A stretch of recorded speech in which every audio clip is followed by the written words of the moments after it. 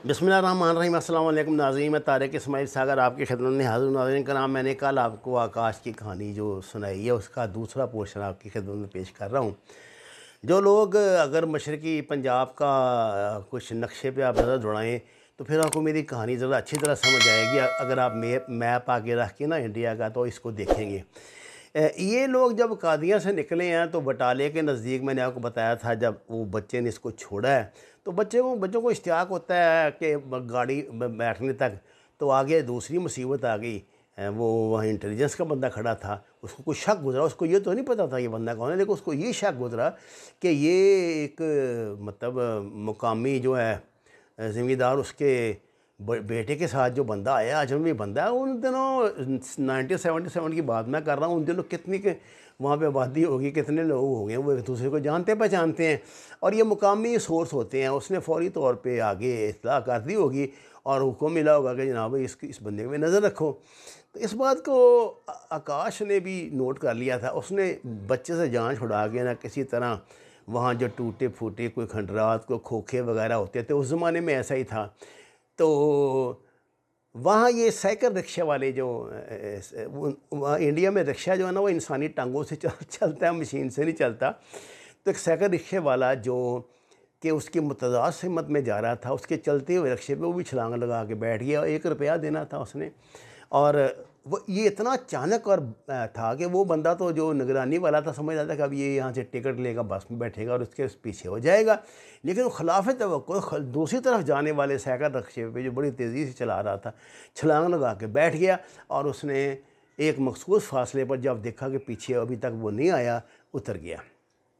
उतरने के बाद उसने यहाँ से एक नई प्लानिंग की और सोचा कि बजाय अपने टारगेट की तरफ़ जाने के वो टारगेट के मतजाद इलाके में जाए ताकि किसी हद तक वो इसको डाज दे सकें। इस बंदे की जो डेस्टिनेशन थी, जो वो थी पठानकोट यानी आकाश की आकाश ने पठानकोट के बजाय वापस कादियाँ की तरफ़ सफ़र शुरू किया और ये श्री हार गोविंदपुर की तरफ़ निकल गया। श्री हरगोविंदपुर आप ये समझिए कि सबसे जो उनका, उस ज़माने में जो उनका एक काबिल ज़िक्र शहर था, वो था दरिया के किनारे पर ये शहर है और बड़ा मजहबी किस्म का शहर है। यहाँ जाने के लिए मुकामी टेंपो वो चलते थे, वहाँ से टेंपो में वो एक मखसूस फासले पर गया। वहाँ से फिर अगला टेंपो बदला। उस वक्त इतना तरक्की याफ्ता सफ़र तो नहीं था ना कि ये लारियाँ चलती हैं, कुछ होता और वो अड्डे पे जाने का रिस्क नहीं ले सकता था। अड्डे से तो सीधी बस जाती थी। सफ़र था ये चार पाँच घंटे का। ये पाँच घंटे का सफ़र उसका दस बारह घंटे में मोहित हो गया। कहीं वो पैदल चला, कहीं टेंपो पर बैठा, कहीं साइकिल रक्शे पर बैठा। किसी न किसी तरह ये बंदा हमारा जो हीरो है, ये पहुँच जाता है श्री हरगोबिंदपुर। श्री हरगोबिंदपुर ने उसने रात जो है वो एक गुरुद्वारे में गुजारी। गुरुद्वारों का ये असूल होता है कि आप मुसाफिर बन के वहाँ पर जाएँ तो आपको बिला तखसीस मज़हब व मिलत वो आपको मंजी बिस्तरा भी देते हैं, खाना भी देते हैं, सुबह के टाइम नाश्ता भी देते हैं, दोपहर को भी खाना देते हैं, रात को भी खाना देते हैं, लंगर चलता है वहाँ, इसको लंगर कहते हैं। तो ये बंदा वहाँ गया और उसमें रात उसने वहाँ गुजारी। अगले दिन उसने अपने सफ़र का आगाज़ किया और इसी तरह घूमता घुमाता मुख्तलिफ़ स्टेशनों को आगे पीछे करता ये बंदा अगली रात को पठानकोट पहुँचने में कामयाब हुआ। पठानकोट में उसने चूँकि उसकी डेस्टिनेशन का इलम उसको तो था कोरियर को नियामत को तो उसने नियामत ने एक्चुअली इसे पठानकोट ही छोड़ना था।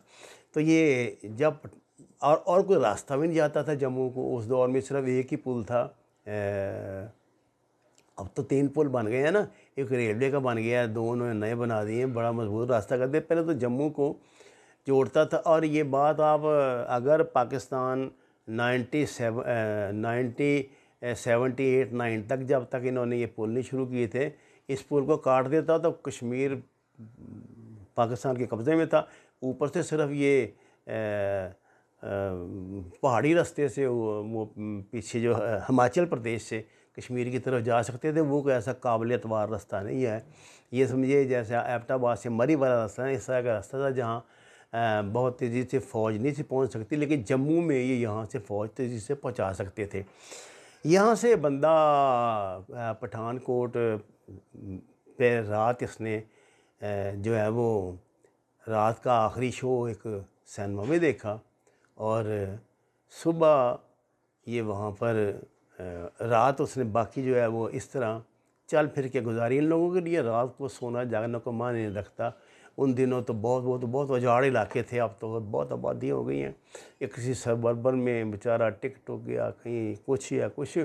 यहाँ पे सबसे बड़ा मसला उसके लिए ये था कि सबसे पहले उसने मैसेज किया आ, अपने पीछे। और जिसमें बताया कि जो नियामत है, ये डबल क्रास है ताकि वो उसको काबू कर लें और बताया कि इस तरह वो फिल वक्त वो बाहिफाजत निकल गया है और जल्दी टारगेट पे पहुँचने के बाद अपना काम शुरू कर देगा। ये पैगाम किस तरह पहुँचाया मैं माफ़ी चाहता हूँ, ये मैं आपको नहीं बता सकता, लेकिन आप या, ये ख्याल रखें कि इंटेलिजेंस का जो काम होता है, ये होता है नेस्ट ये जो घोंसला जिसे कहते हैं, इस तरह जैसे चिड़िया एक एक तिनका ला के घोंसला बनाती है ना, इस तरह ये भी तिनके से तिनका मिलके घोंसला बनता है। ये मतलब कई सोर्स होते हैं, उनको मिला के फिर एक पूरी लाइन बनी होती है। जिस जगह से ट्रैवल करता है जासूस, वहाँ से लेके टारगेट तक, टारगेट से उसके वापसी इलाके तक एक नेट बना होता है। वो नेट में आपने अप, अपनी जगह पे डेड ड्रॉप कर दिया कोई मैसेज वो वहाँ से किसी और जगह आगे डेड ड्रॉप होगा वहाँ से कोई और उठाएगा फिर जाने वाला उधर ले जाएगा। बहरहाल जल्दी से जल्दी आपका मैसेज पहुँच जाएगा और जहाँ उनसे मुमकिन होगा कि वायरलेस के ज़रिए मैसेज पहुँच जाए या उन दिनों ये इंटरनेशनल सिस्टम नहीं था इंडिया में इतना डेवलप नहीं था। ये था कि आप मगरबी ममालिक में के मैसेज दे के मतलब कोडेड मैसेज दे सकते थे जो फिर बहुत जल्दी पाकिस्तान पहुँच जाता था। इस वजह से उसने क्या तरीका अख्तियार किया ये वो जाने। पठानकोट में ए, से अब उसको जम्मू जाना था। पठानकोट से जम्मू जाने के लिए लारियाँ चलती थीं। उन दिनों ये यात्रा का सिलसिला था कोई बहुत बड़ा कोई यात्रा हो रही थी तो बड़ी होशियारी से उसने यात्रियों का रूप धारा और एक फैमिली की हमदर्दी हासिल करके उसका एक हिस्सा बन के ये बंदा जम्मू से थोड़ा आगे पटनी टॉप तक पहुँच गया, जो इसकी डेस्टिनेशन थी। पटनी टॉप पे एक्चुअली इंडिया ने अपना बहुत बड़ा रेडार सिस्टम लगाया हुआ था। सैम सिस्टम के जो रेडार इंडिया को रूस ने दिए थे, वो लगाए हुए थे। तो उसका मिशन ये था कि वो इसकी पूरी इन्फॉर्मेशन लेगा, इसके करेगा और कोशिश ये करेगा कि इसको अगर वो सैबोटाज करवा सकता है, वहाँ मिल मिला के किसी तरीके से इन लोगों को मुकामी तौर पे असला धमाकेदार या चीज़ों को तबाह करने वाले ये डिवाइस, ये आईडी लगाने की तरबियत दी जाती है।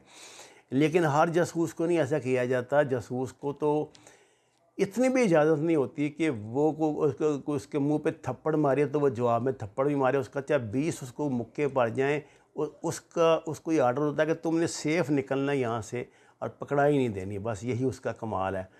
तो कुछ इससे दूसरे ऊपर के दर्जे के होते हैं जिन्होंने एक मखसूस जगह को जाके तबाह करना होता है डायनामाइट के ज़रिए। इस तबाही के लिए वो मुकामी सोर्सेज को हासिल करते हैं करते हैं।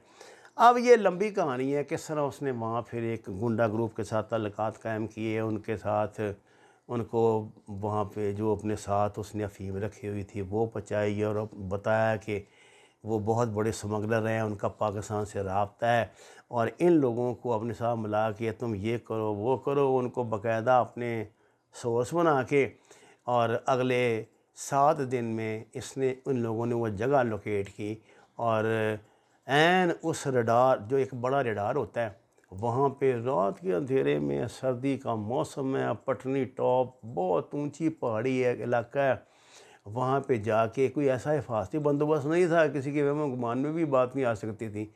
वहाँ जाके डायनामाइट लगाया, उसको उड़ाया, अपना मिशन पूरा किया और उन लोगों को ये लालच देगी कि वो जल्दी एक मन अफीम जो है लेके उनके पास आ रहा है, जिसमें वो रातों रात करोड़पति बन जाएँगे।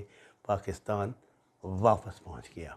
और भी नाजिन कराम, मैं कोशिश करूँगा, अगर कोई और इस तरह की भी कहानी मुझे कहीं से मिले तो आपके खिदमत में पेश करूँ। आपसे दरख्वास्त है, कुरान नमाज़ से हदायत हासिल करें। हमारे चैनल को सब्सक्राइब करें, लाइक्स दें। सच के सफ़र में हमारा साथ दें। आपका बहुत शुक्रिया।